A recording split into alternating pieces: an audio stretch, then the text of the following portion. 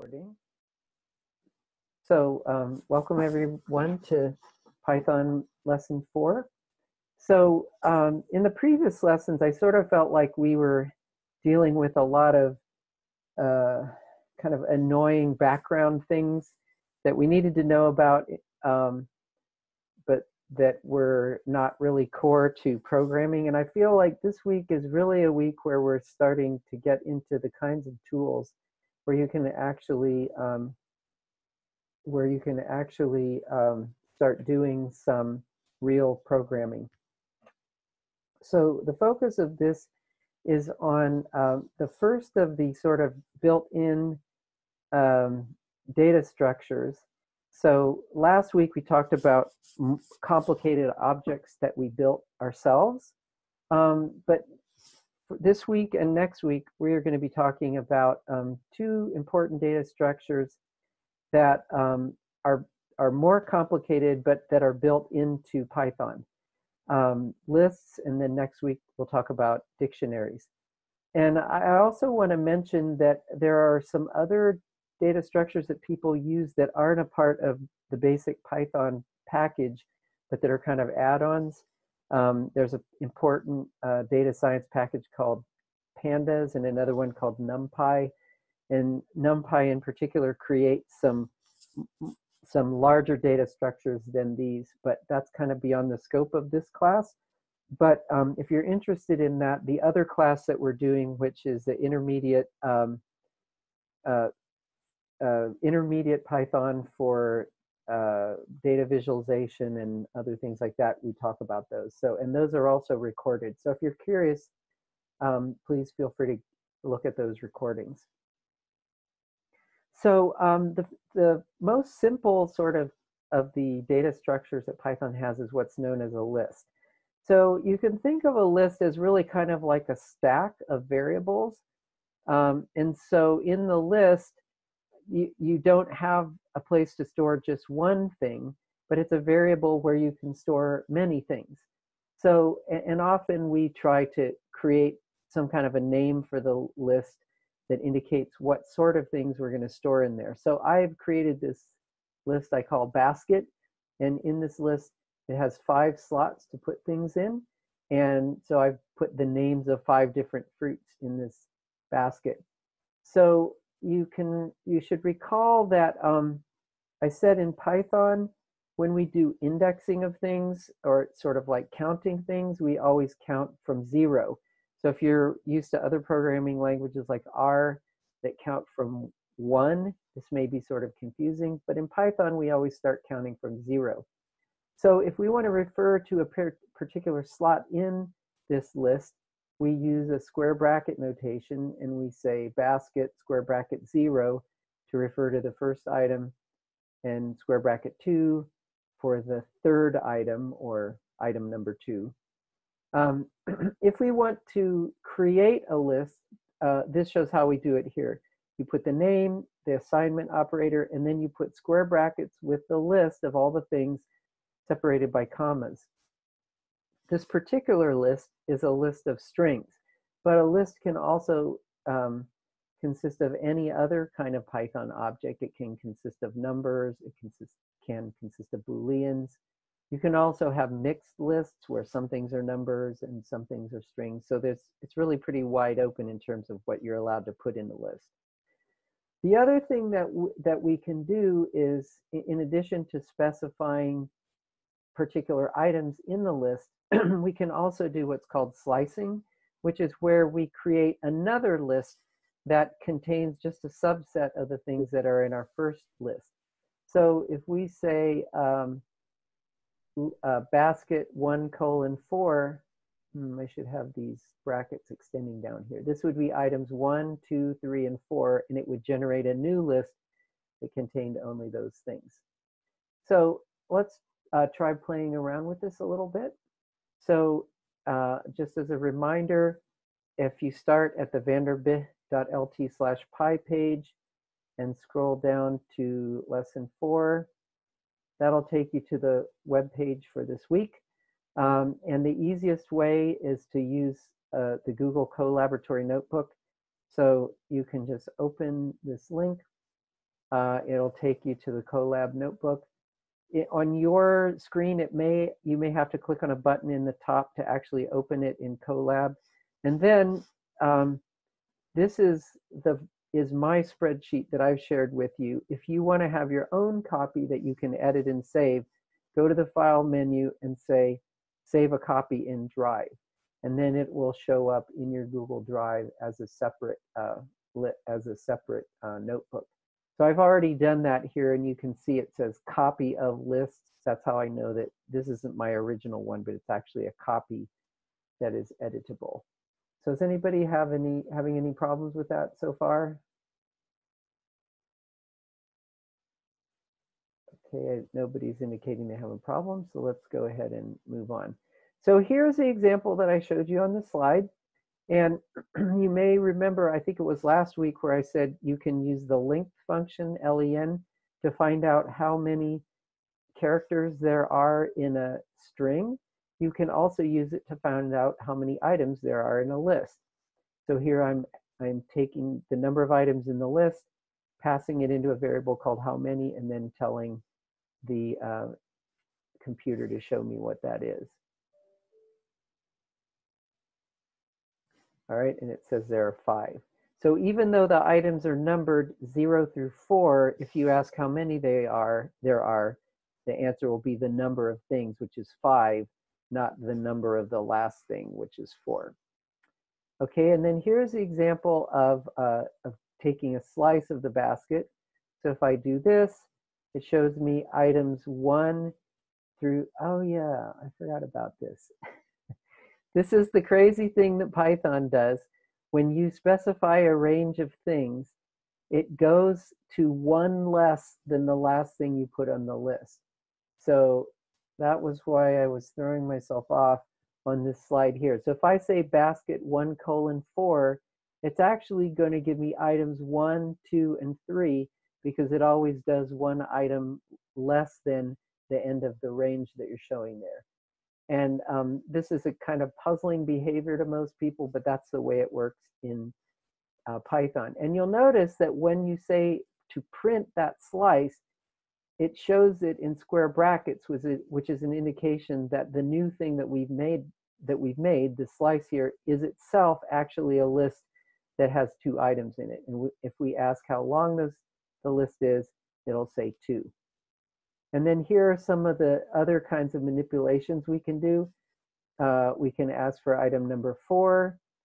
Um, here we're saying we want items zero to how many, and how many we said was the length of the list. So the length of the list was five, so this is going to give us item zero colon five, which is one more than the item number of the last item on the list. So going from zero to the length of the list actually gives us all the items in the list. And I'm kind of wondering if that's the reason why Python does that weird thing of specifying one number higher than the actual last item on the list. That, that way, if you say the length of the list, you'll get the whole list. Um, and then the last two, let's go ahead and run this and, and think about why we get the results that we do for the last two items. So here we ask for item number four, that was lime. Then we asked for zero through the length of the list and we got the whole list. Now, can anybody explain what's the difference between what I did in the last two lines here? Any ideas about that?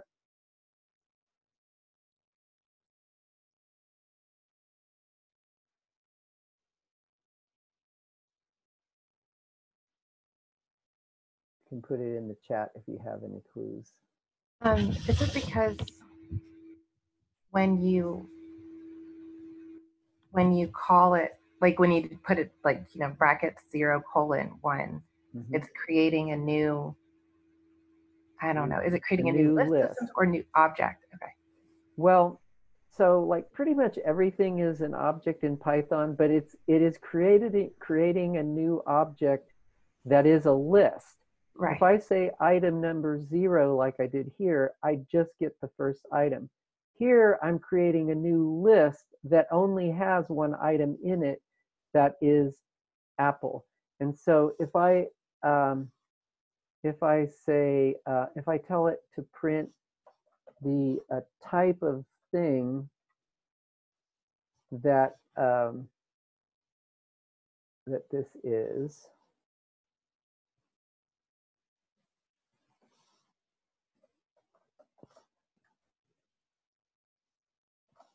And if I tell it to print the uh, type of thing that this is, let's see what happens. Yeah, so it says this one, basket square bracket zero is a string, but this one is a list. So that's the difference between the two. Okay, great. Yep, the second one. So the second one, I'm just to, in the chat, um, it says the second one is a range, and I'm just going to be a little bit careful because later down in the lesson, we're actually going to define a range to be a different kind of thing. So it's it does include a range of items, but the kind of thing it is is actually another list. And, and we'll see how a range is different from a list towards the end of the lesson. All right, great. Let's go back to the slides. And uh, so we can manipulate things on lists in several ways. Uh, if we want to replace an item in a list, we just use the assignment operator and we can say, change item number one by um, assigning tangerine to it. We can also add items to a list by using the append method. So remember last time we learned that for our user-defined objects, uh, the, the, um, the objects that we built, that we defined ourselves, we could have methods for them. So for complicated objects like lists, we, they can have methods as well. So the dot append method takes the um, argument that we put into it and appends it or adds it to the end of the list. Um, so it doesn't, this does not return a value. We can't say basket dot append or, you know, something equals basket dot append. We just say basket dot append and it, it does something. It doesn't, um, it, it doesn't output something. It just does something to the list itself. Um, and then there's a couple other commands that we can use. So for instance, if we want to create a list that doesn't have anything in it, we can just put square brackets with nothing in it. Now, it may seem kind of weird to do that, but we'll see uh, a situation later on why this could be a useful thing. We can also um, use the remove method to uh, put the, so in the remove method, you you put as the attribute the thing that you want to remove. So if it's like a string, you actually say which string you want to remove. That's a little different from the delete, which also can be used to remove an item, but in that case, it's, it's not actually a method, it's a command. So that's why you see it, the method has a dot, but the command has a space. So here we're saying remove item number three. So let's go back to the notebook and try some of these out. Okay, so uh, here's the list. So we print the whole list. Now, if we change item number one to tangerine, we can see that item number one has changed from orange. We've replaced it with tangerine. And here's, like I said, the remove method. We say, what is the thing we want to remove? We specify we want to remove banana, so it should take banana out. Okay, so there's the list without banana. And if we want to append or add an item to the end of the list, we can use the append method. So now we see that it's added durian to the end of the list. And then here is what the delete um, command looks like. So delete space, and then we say the thing we want to delete. We say uh, we want to delete item number zero. That's going to get rid of apple and we can see that now Apple is gone. Another thing that you can do is um, you can add two lists together. Um, we saw that the plus operator is used several ways. It's used for addition. It's used to concatenate strings. It's also used to add one list onto the end of another. And actually, we can sort of think of strings as basically being like lists of characters. And so if we use the, the concatenate operator on two strings, it basically joins them end to end. And since strings are just about like lists, then using the plus operator for two lists also joins them end to end. So it takes sandwich and cookie and then adds after it whatever was left of my list after I got done messing around with it to create one larger list. Um, okay, question, can you add items to the middle of existing lists? And the answer is yes. Um, I am not uh, remembering what the command for that is, but uh, it's uh, it is it is definitely possible to do that, and I will I'd have to look that up.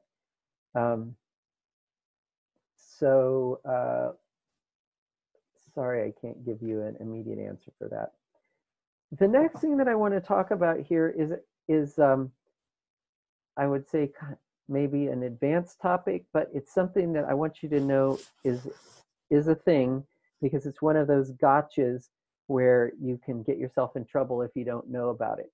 So I mentioned last week that um, for simple objects like uh, a, a, an object that's just a string variable or a numeric variable, if you assign that variable to another variable, you make a copy of the first variable. And then those two variables are independent of each other if you do something to one, it doesn't have any effect on the other. But for more complex objects like the user-defined ones we saw last week, and for things like lists and dictionaries, if you use the assignment operator to take a variable that contains a list and assign it to another variable, you don't actually make a separate copy of the first variable. Instead, what you're doing is making a reference back to the first variable. And so what that means is that if you if you copy or, or assign a variable to another variable, and then you change the new variable, it also changes the original one as well.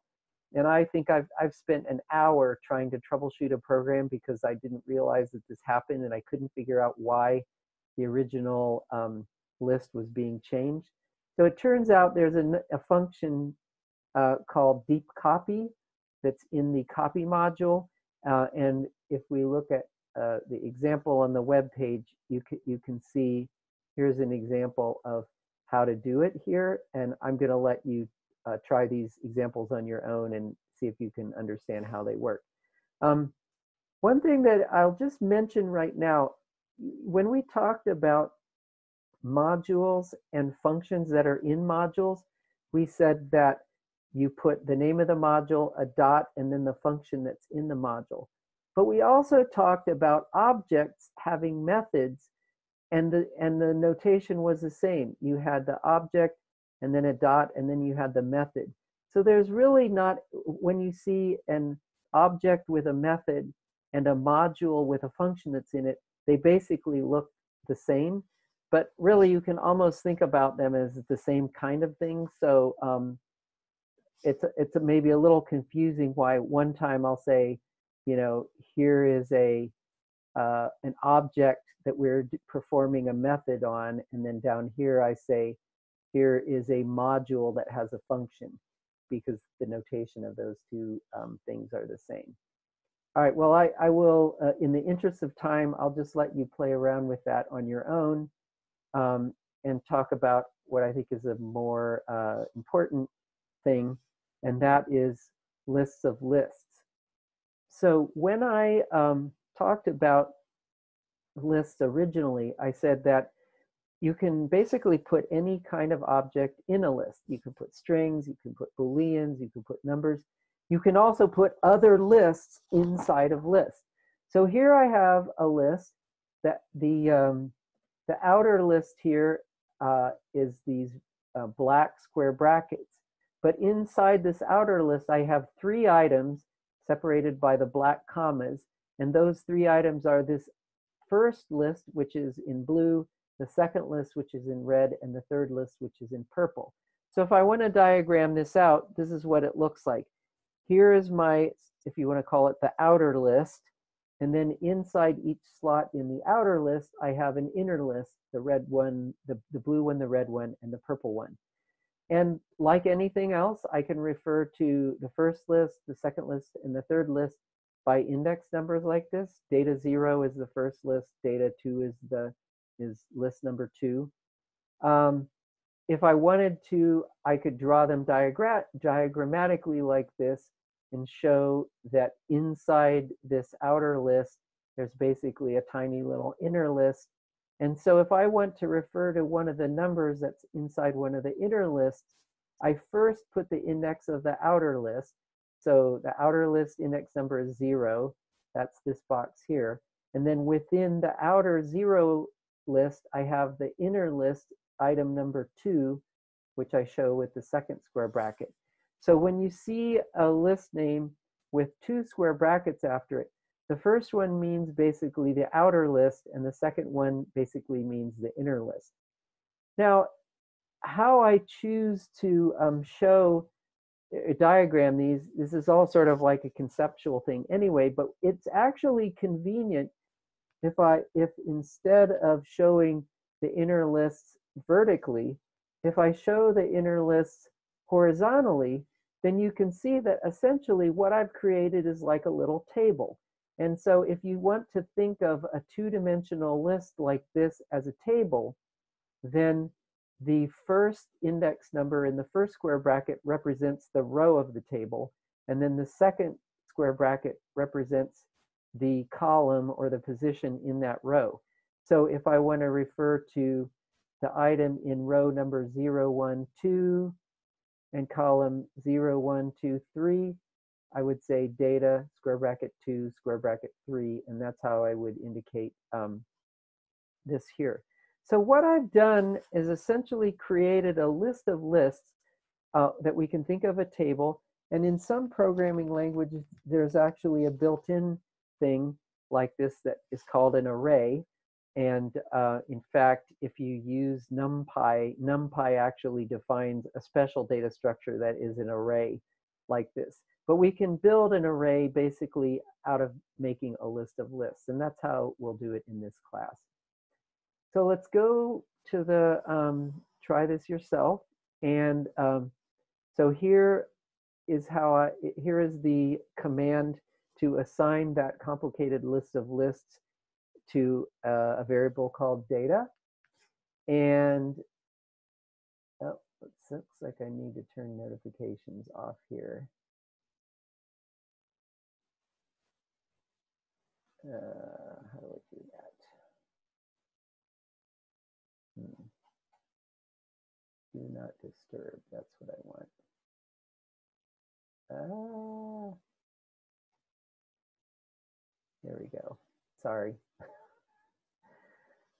the dangers of having your phone account on your computer. Um, okay, so here is, okay, so, and then here we are taking item row two, item zero, the first one. Let's try that. Okay, so the row number two, which is this array number two, and then item number zero, which is negative 99 that's what we get right there. Now, if we ask what is the length of the list, can anybody predict what, what that's going to be? You can write it in the chat or say it if you want.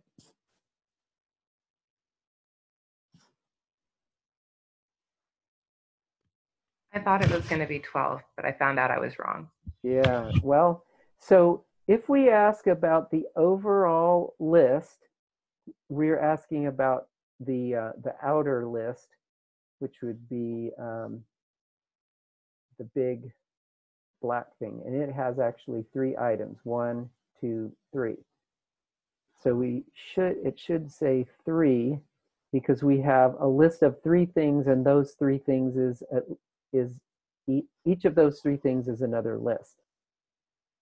Now, if we specify just list number one, which is the second one, this one here, and then ask how long the list number one is, then it should say four because then we're specifying list number one, which is this one here. And I suppose there's probably a, a, command to find out how many items there are in both lists, but I don't remember what it is. So uh, that's again something you can look up. I'm sure there is a, a way to do it. Okay, uh, I mentioned that um, strings you can essentially think of as a list whose items are characters. And so many of the things that we can do with lists, like take slices of them, you can do with um, strings as well. Uh, just to review, I mentioned before that we had that we could create special non uh, typable or non-printing characters like new lines, which would be a hard return, or tab characters by using backslashes. So, uh, and then, so backslash n does not mean the letter n, it means one character, a new line character. And we can actually use what's known as Unicode, which is a, a coding system for all different kinds of characters. There's like thousands of different character sets, all different languages and so on. And to express a Unicode character number in hexadecimal, it takes four, uh, four hexadecimal digits. So you write um, backslash u, that basically means this is a Unicode character, and then there are uh, four um, uh, the four digits that specify what that character is. So this is how you could include in your code things like uh, characters from other languages, things like diacritics, special symbols, and things like that. Um, the way that you specify substrings is the same way that you do with the list. If you say, if you have a string and you say my word three, it will give you character number three, which is not the third character. Uh, if you say my word 2 colon 5, that will give you characters 2 through 4. So the same thing I said before about the, this goofy thing that Python does where it doesn't actually give you the last item you that you specify in, in the range uh, is applies with this as well. And then there are several other methods that you can play around with. If you say, if you put the name of a, a string and you say dot upper, it will change all the characters into uppercase. You can also take a string, a string and split it into pieces by uh, using the split command. So you say split, and then the argument that you pass in to that method is the character that you want it to split by. And then what it does, the output of that split method is actually a list of strings. So if there are three things separated by commas, you'll end up with a list of those three things. And we saw this, um, I didn't talk about it, but last week in the um, poem object, we had those methods for like uh, dividing the poem into words or into stanzas or into lines that I use the split command to do that. So um, in the notebook here, I have a bunch of different examples of things you can try. And again, in the interest of time, I'm going to let you just play around with these on your own um, and see how they work. But just as one illustration, I, here is an example of using the Unicode character for euro, the euro symbol, which is 20AC. So if I say backslash u, which indicates it's a Unicode character, then Python will, will not print the next four characters after that, but rather will interpret them as a four hexadecimal code for whatever Unicode character I want. And in this case, it's the Euro character. So if I say run this, it says that's 2182 euros. Um, so this is a convenient thing if you want to include in your code characters that you can't print otherwise and there are some other examples of that in here. Then here is an example of showing how you can um, get bits of strings. So here, if I say, um, uh, Nobel Peace Prize 2, it should give me character number 2. Remember, we count from 0, so this should print G. Let's try it. Okay, so G.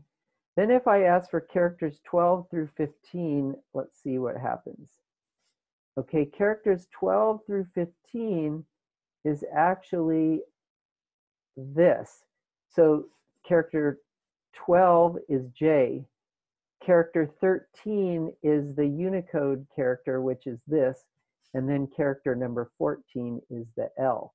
So even though I'm highlighting way more than just three characters, this Unicode character in here actually only counts as one character, um, or that's how Python interprets it. Okay, and then here are the different methods that I um, told you about. So um,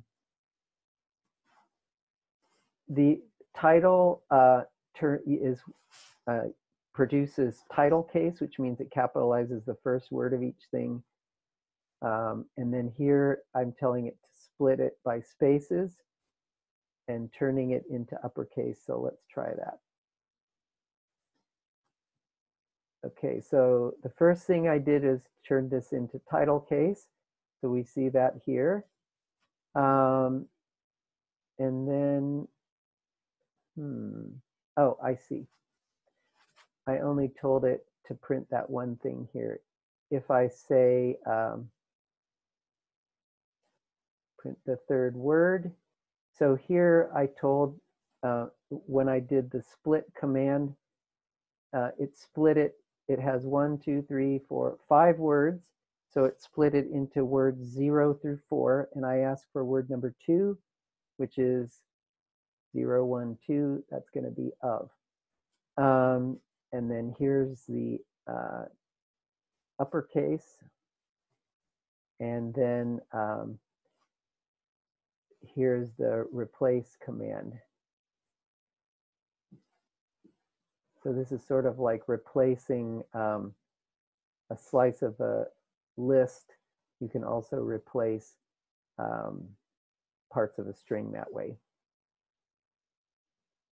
All right, uh, does anybody want have any questions about strings and how you play around with them? I think this is fairly uncomplicated, especially if you have a chance to play with it.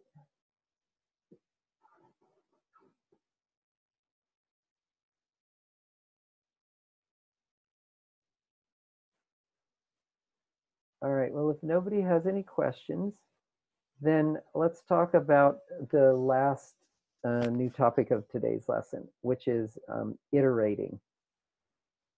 So one of the things, uh, so there's several useful things that a computer script can do for you. One of them, which we'll talk about, uh, I guess we talked about last time, was making decisions by using if. The other really cool thing that scripts can do is to do the same thing over and over and over again. Um, and that's called iterating. And so in a, a, lot of programming languages have an iterating command called for, and Python also does that as well. So what you do in the for command is you, you have the word for, and then you say for, and then you give a variable name, and then in, and then the thing that you want to iterate through. And the way this works is the first time it iterates through the list basket, it makes fruit have the value of the first slot. The second time it iterates, the um, second value of fruit is used. And then the third time it assigns the third value to fruit, the fourth time the fourth value, and so on. So what this does is basically it steps through each of the items in the list and it assigns each of those items to fruit, uh, a different item each time it does that. So any kind of thing that you can step through one item at a time is called iterable. And we'll see several other examples of iterable things. So a, excuse me, a list is an example of an iterable thing. Strings are also iterable things because you can step through them one letter at a time. and we'll see a couple other examples of iterable things. So any kind of iterable thing you can use in a for, uh, we call it a for loop. So, oh, I forgot to mention then, we see that um, the same kind of trick that we did with like try except and if and some other, uh, uh, oh, and uh, defining functions, we have this thing where we have a colon and the colon basically says, get ready for an indented code block. So whatever is indented at the same indentation level is the code that will be executed each time an iteration happens. Then when the indentation drops back out again to the same level as for, then that's where it'll pick up after it finishes iterating through the code. So if we look at this example here, um, it will iterate through each of the fruits, and the thing that it'll do each time is to print I ate one, and then it'll add on the name of whatever the particular fruit is for that iteration. After it's iterated through all the items in the list, then it pops back out to where it's not indented and it'll continue with that code there. So uh, let's um, go back to our examples and try actually doing this. So, so what it's doing is the first time it says I print one, and since fruit is apple the first time, it says I ate one apple. And then the second time the value of fruit is orange, so it says I ate one orange. And the same thing with banana, lemon, and lime. After it's iterated through each of the five items in the list, it continues on with the non-indented code here, and it says, I'm full now. And as I said, you can do the same kind of thing with strings. So here's a very long string that I'm assigning to the variable called word. And then I'm going to say iterate through each character in that string and assign it to the variable word. And then each time it does one of those iterations, it's going to print whatever the letter is at that time. And after it's done iterating through every letter in the string, it'll jump back out to the same indentation level I started with, and it'll say that wore me out. So let's try that.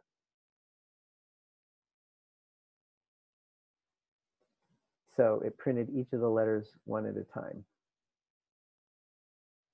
Any questions about um, the terminology we're using here, or the structure of the for loops? I have a quick question, Steve. Sure.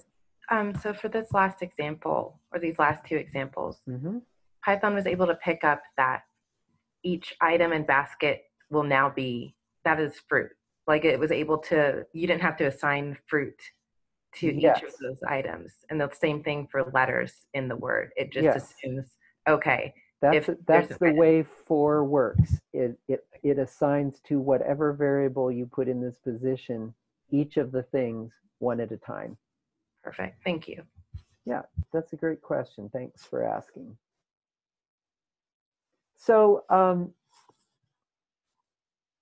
this method of doing for is useful if you have a list of things or or a, a, a, list of characters or something like that that you want to step through. But what if you don't want to step through something? What if you just want to do something a whole bunch of times and not actually step through a list of things? That's where ranges come in.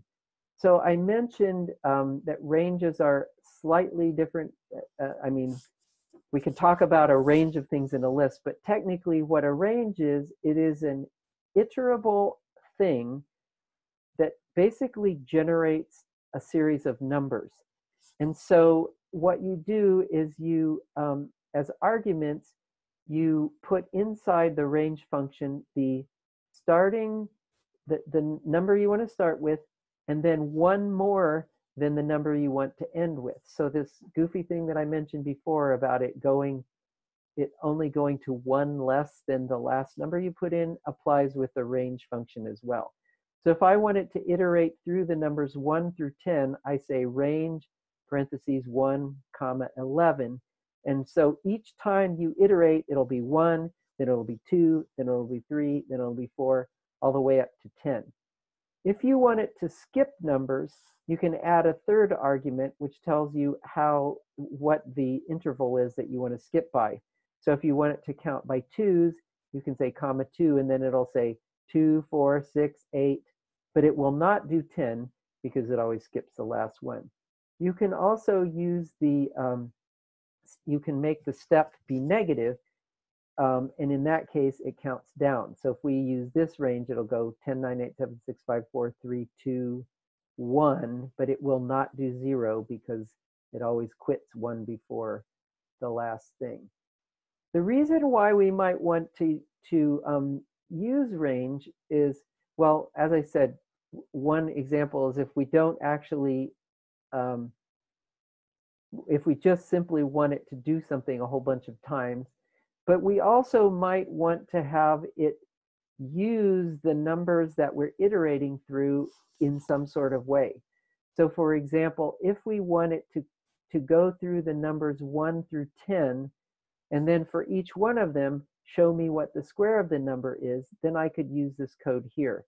So I'll say for number in, and then here's my iterable thing, range 1 comma 11. So it's going to be so the first time the loop goes, number will be one. The second time number will be two. The third time number will be three. And then I can use the value of number in this indented code block here. So the first time it's going to take whatever the number is and square it and assign that to the variable called the square. And then it's going to take whatever the square is and multiply it by pi, and that's going to give me the area. So then I can say print number comma, and then here's a tab symbol. So it'll tab over to line things up, and then it'll print the area. And it'll do this indented code block for all the numbers from 1 to 10. And when it's done, then it'll jump out here and it'll say, these are the areas of all the circles. So basically, range is good if we want to use the value of the range inside the code block somewhere. And one of the things that is very common is to use the length of a list as the end of a range. So this is sort of like when we did the whole colon thing to define a slice, and we said we can put length of the list as the thing after the colon, and that gives us the whole list. The same thing is true here on range. If we say length of the list as the end of the range, then it'll essentially count through all the, it will iterate through all the items in the list. Um, so I'll, I'll, show you an example of that uh, next. Okay, so here we are uh, just counting from 1 to 10. And you can see, as I said, it, it, it does not do the last item. Here is an example of um, counting backwards. So it says prepare to launch 10, 9, 8, 7, 6, 5, 4, 3, 2, 1, liftoff. Okay, then this was a kind of tricky one. So let's think about what this is going to do. So this is actually a, a trick uh, that we'll use several times, a number of times in the future. You, as you may recall, I said um, that we uh, sometimes want to create an empty list, and why would we want to do that? Well, that would be a situation where we would create an empty list and then use a loop to add items to it one at a time. And that's sort of like what we're doing here. Here we're creating a thing called an empty string. This is a string, a, a string literal that basically doesn't have anything in it. And then each time we run the loop, it is going to add whatever the new thing is that we're making along with the old thing that was already there. So what it'll do, cheer starts off as nothing. And then the first time the loop executes, it's going to take the string value of the number and add it on to whatever was in the string before and then put a comma. So it'll so the first time it does this, skipper will be two. So it'll take nothing and add two, add the character two and a comma and a space. Then the second time skipper will be four. So it'll take what I had before, which is two comma space, and add four comma space. And then it'll be six, and then it'll be eight. Um, and it will not do 10 because it always skips the last one. So let's try that. So it says two, four, six, eight, who do we appreciate? And I was able, so I mean, if all you had to do was um, count to eight, it'd be just as easy to type this out. But what if I say um, from two to a thousand? Okay, wow. Uh, oh, uh, sorry, I only did a hundred. All right, well, I'm not going to do a thousand because I'm afraid it'll like fill up my whole screen. But well, heck, let's do it. Why not?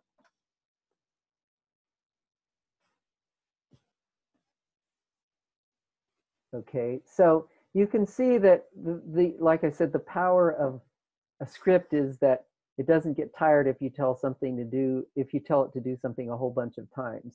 And so it would be hard to type out every second number going up to a thousand by hand, but super easy to do it with a tiny little script.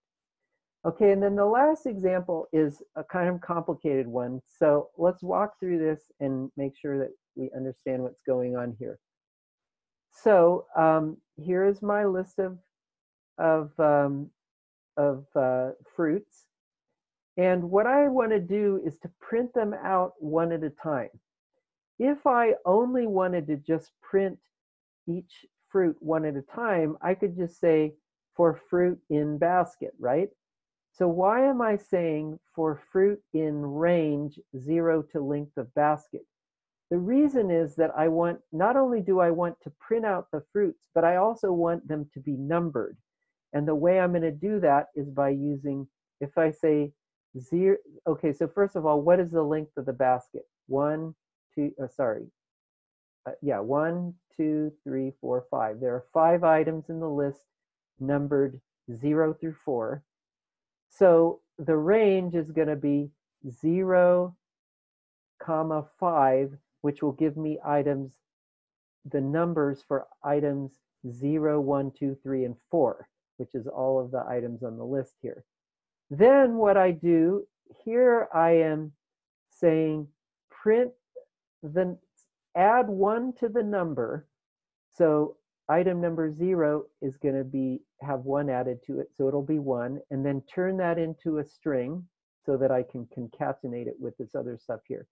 So each time the list goes through, it's going to say, instead of 0, 1, 2, 3, 4, it's going to say 1, 2, 3, 4, 5.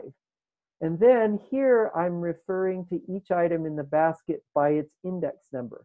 So when it prints the number 1, it's going to give me item number 0, which is the first item in the list. So what it'll do is it'll print one more than the item number of the list, and then the item itself, and it'll do that uh, one for each item one at a time. So it says one apple, two orange, three banana, four lemon, five lime.